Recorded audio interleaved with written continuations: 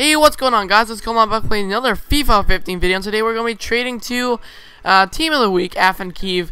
This is, I believe, the third episode, if not the second or fourth. I don't know. One of these crazy numbers that I, I don't know. I can, I can count up to five. Don't worry. But, but that voice crack was was early and it was there. And uh, yeah, so we're going to be trading to Inform Akinfeev. He cost in the price range of 20,000 coins to 40,000 coins. He was extinct for a long time, and in the background you guys are seeing some gold trading. Um, it's pretty, pretty uh, basic trading.